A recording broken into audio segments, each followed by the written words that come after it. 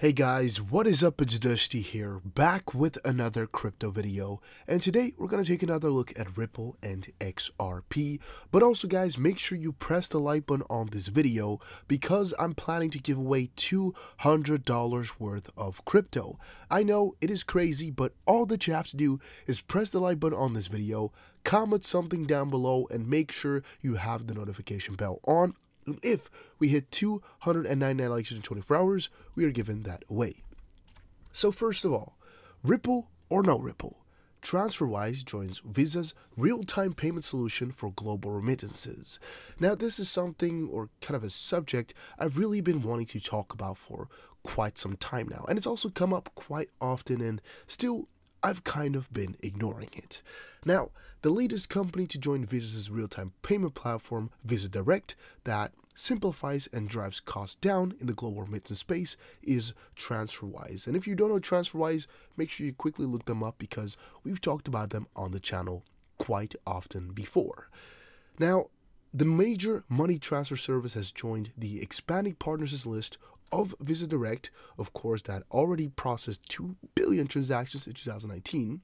And the idea behind Visa Direct is to make sending money as easy as sending a text message. Have you guys seen that before? Yeah, you, we've kind of seen it by Brad Garlinghouse, David Schwartz, all the big Ripple guys. As they always state, we want to make sending money as easy as you know sending information around, or really sending a text, email, message, just how everything around the internet is going so smoothly, we also want to make the same thing go for payments. Now, from TransferWise perspective, TransferWise is on a mission to move money around the world in a cost-efficient, quick, and transparent way. Integrating Visa Direct further erase eases the transfer process and brings us another step closer to achieving our mission. So yeah, that's pretty cool, right? Let's move up a little bit further though, because unimpressed by Ripple's partner network. About a year back, though, and this is where it becomes important, TransferWise indicated excitement over the growth of Ripple's global payment solution, but said blockchain has its own set of challenges. At the time, TransferWise chairman and co-founder Taavet Hinrikus said, if every bank in the world was going through the Ripple network, it would be amazing. I mean, that's pretty obvious to all. Yet, how many banks are using Ripple today? How many are using it in real production? It's a very short list. Ripple's partner list has now increased to 300, but TransferWise still might not have any plans in the near future. So, of course, this was kind of crazy, right? And and people went to ask on Twitter like, "All right, what about now?" TransferWise replied and said, "Love your enthusiasm, but we're afraid the news are still the same. We don't offer Ripple tech. We'll see how it goes in the future. Stay tuned." This was all the way back in May. Matthew Whitmore said, Hi team, we've started to move our company to TransferWise, and so far so good. Would love to see you jump on the Ripple and Xrapid bandwagon to make it even faster and cheaper. TransferWise then again replied and said, We love to have you on board, but news are the same here. We don't have the plans to offer Ripple Tech. If anything changes, we'll let you guys know.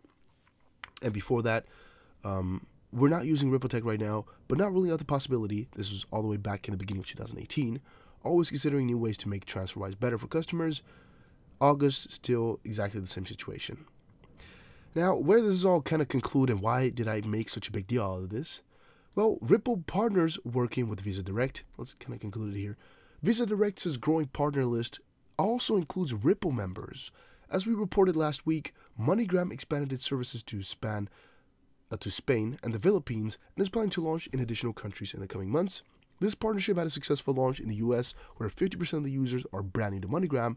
Moreover, indicators show customer retention rates outperforming expectations. But before MoneyGram, last month, Ripple partner Nium that joined RippleNet in February 2018 and was the first one ODL to settle transactions between US dollar and Mexican peso, partnered with Visa Direct. That's kind of where I uh, wanted to conclude it here already. And interestingly, Earthport, a cross-border payment company that joined Ripple in 2014, was acquired by Visa earlier this year. You might be wondering, Dusty, what's your point? My point is here, what makes Visa Direct better? Right? We, we kind of got to check into this. We kind of got to get it through our minds because this is actually way bigger of a deal than you might right now superficially think. What they're basically saying here, TransferWise, a company which we've kind of, you know, glorified in the past, they're kind of saying, you know, Ripple, good, because that's kind of what they're stating in, in one of their statements here. If every bank in the world was going through Ripple network, it would be amazing. But we're not using it because others are not on there. And I think that's a really big issue. They've got 300 partners now, but TransferWise here, as an example here, saying they don't have enough.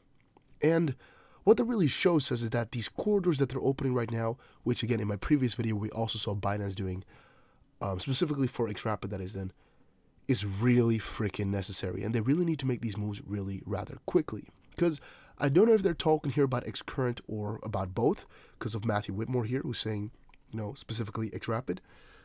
But for X current, I really don't know what to tell them. I really don't know what to say.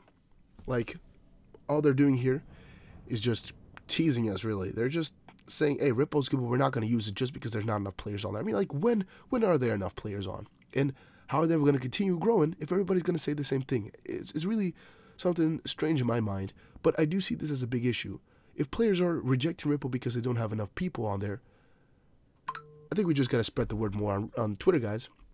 I think really, if we just spread the word more on Twitter about, hey, man, why are you not uh, utilizing Ripple, right? We just keep asking all these parties at one point they're gonna notice like all right you know we're not using it just because they don't have enough players. That's a stupid thing.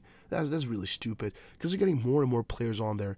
And maybe just maybe if we keep reminding them every time like but ripple already has 300 freaking partners and things like this they might switch over at one point. I just think it's really really understandable that they don't want to hop on but still i don't think that should be a problem right there. I really think we should convince them that there's already enough players and we can really get them going. Because right now at this rate visa's winning don't like it because uh, you guys know I don't like Visa too much. I really think Ripple as a 10, Visa as a 7.5. So, but okay. Ripple named an innovation example by Bank of America for cross border payments. We actually discussed this really elaborately in our previous video. Ripple uh, was really called like amazing by the Bank of America, but it's not new to us at all. The only point I tried to make by showing you guys this is just how the general opinion by bigger parties is just really positive of Ripple. We can see it in this article right here, where um, TransferWise themselves are saying they're amazing, and you'll see it most likely in every other article. I, up to this date, have not really found people saying our experience with Ripple was bad. All that I've been seeing is either, yeah, it's so cool and all, but we're not going to get into crypto. That's one thing I've been seeing. Ripple is too flawed, too new, which is like kind of the stance of Bank of America. Like they're saying, um, with newer technology comes problems, sort of, and they're they're too imperfect, imperfect to to you know get adoption all the way. I get that, but that's also what we have these years for, and to some extent, yeah. What else have we been seeing? No, I think that's mostly the two things we've been seeing lately kind of lost it there. I, I'm I'm actually not that sure exactly what people are saying about Ripple in a negative sense. It's mostly that they're new and imperfect, or I guess they don't have enough players. That, those are the things we really hear um, most often. Personally, don't think they, they should be valid just because being new in the game doesn't mean you're bad. Being imperfect is really relative because I think they're doing a really good job. They really fixed tons of flaws, and really with time here, um, they're gonna be fixing it anyway. So I guess it's it's it's kind of logical they're saying they're imperfect because they're so new. They're six years old. Swift has been here for 40, 50 years. Uh, but but I think within a couple of years here, they're going to be fixing so many issues. They're going to be so into everybody. Like, for example, if they were to get two partners a week, maybe three, let's do three, 150 partners a year, most likely they'll top that. Let's say 200 partners a year. In five years, have a thousand partners plus. And I guess it's going to be a snowball effect, right? Because even for example here, TransferWise would have most likely been a partner had they gotten more partners already.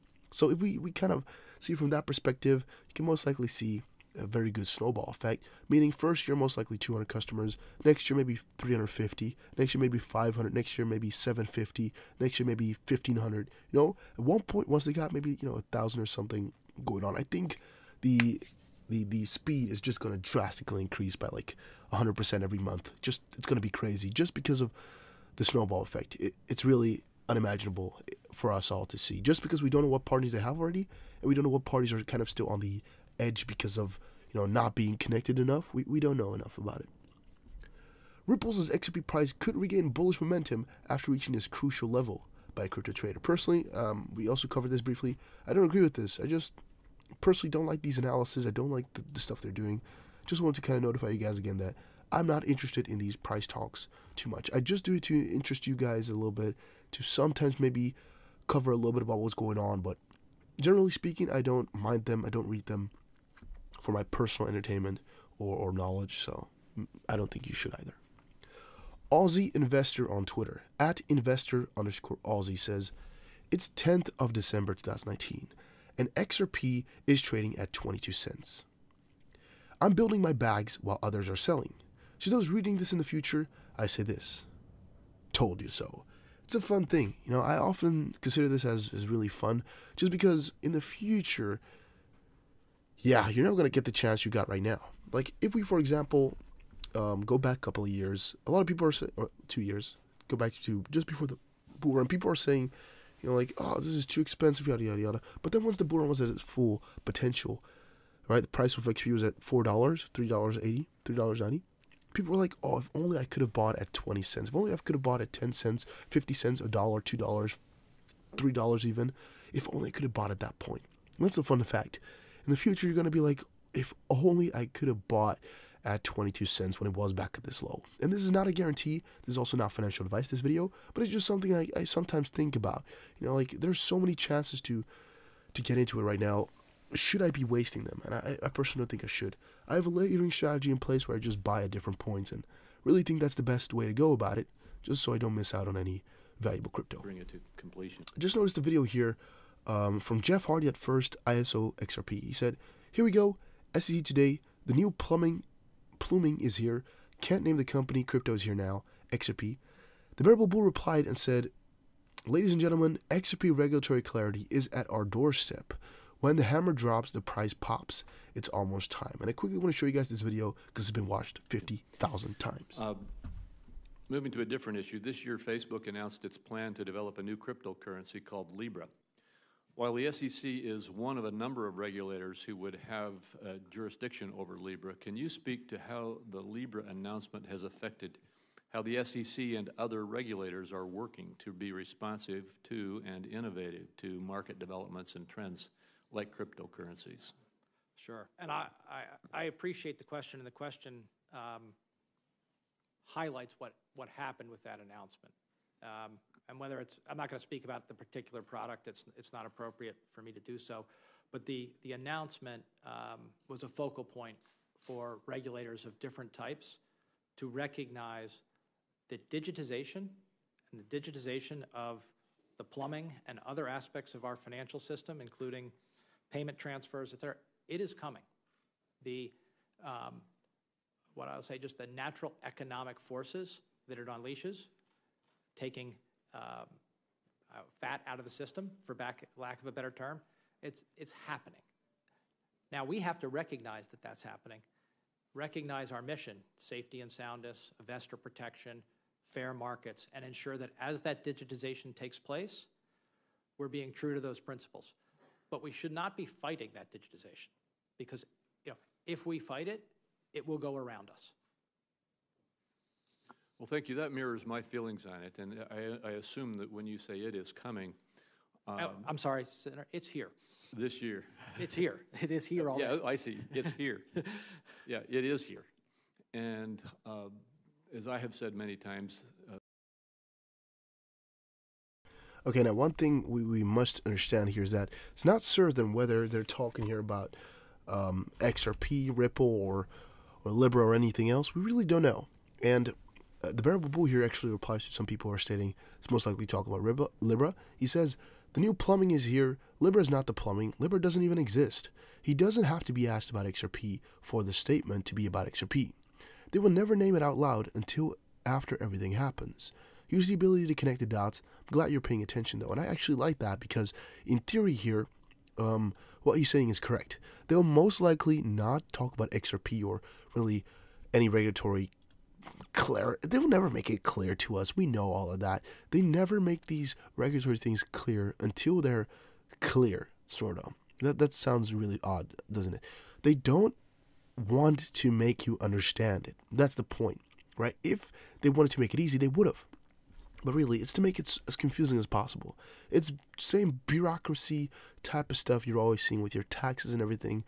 They can make everything so much easier, right? All the paperwork if you ever get a lawsuit going uh, anything like that, if you ever want to, you know, go live on your own, for example, if you're living out, or the first time you go buy yourself a house or want to move, right? All those things. There's so much paperwork. Uh, okay, for example, a couple of weeks ago, started a couple of companies, right? In the, the Netherlands, there's a BV, for example, or NV Depends, or whatever you want to go. But there's so much work involved to get it going. A lot of people don't know because they haven't started it, for example. But there's so much work involved if you don't have your accountant take care of everything. Why is it? Because they just don't want to make it easy for you. They just don't want to make it easy for you. They want you to pay for everything. They want you to go and make some professionals do it. Why? Because that's the way they rule. With the regulatory clarity here, they can always make it simple for you to understand, but they just don't want to. And that's also why you're never going to hear them say XRP. They don't want you to know. They don't want you to know until it's already happening.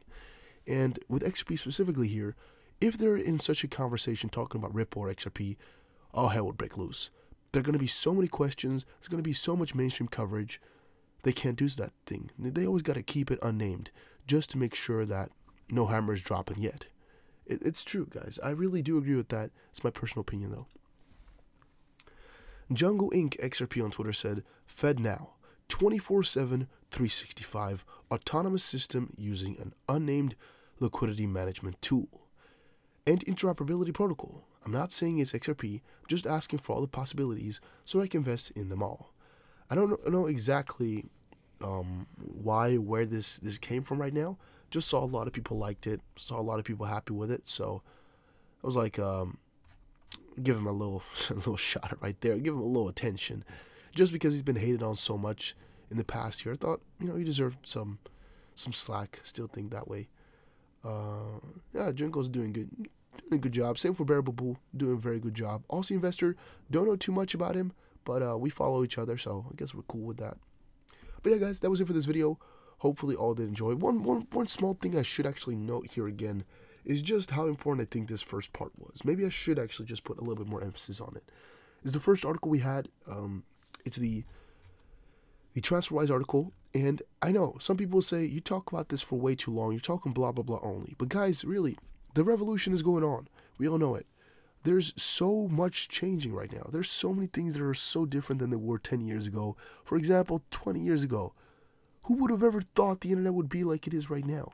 Who would have ever thought these cell phones would be that, that would be phones 20 years ago? Even 10 years ago, who would have thought that cell phones would have been this big? Who would have thought, you know, that about, you know, about Google, about YouTube, about everything like this? Who would have thought? And the same thing with the financial system. A couple of years ago, let's say 2009, who would have ever thought that the internet could be ruled so much by Bitcoin? Who would have ever thought that Ripple would even start to exist? Who would have ever thought that Swift would be taken over? Uh, at least that's what I'm personally still predicting by Ripple at one point. Most likely, a lot of people are not thinking it yet, but at one point they're going to be changing over, and I'm going to be like, I told you so. Let's hope. Let's hope. I, I kind of concluded that in a strange way. Just trying to say here, TransferWise is just another example of Ripple's growth is going to be exponential. It's going to be insane. We just got to wait for it. But I really know that they're on a good path, and I really think they can take over everybody if they just keep putting in the work, keep expanding, keep snowballing. It's going to be amazing, and we're waiting for it. That was it for this video, though, guys. Hopefully, you did all enjoy. Make sure you press the like button. Make sure you also subscribe to the channel, and make sure you comment down below what you thought about it. Did I talk too fast? I know my voice is not too nice yet. It's because I've been sick, as you guys know. But um, it's recovering. It's recovering. Take care, everybody.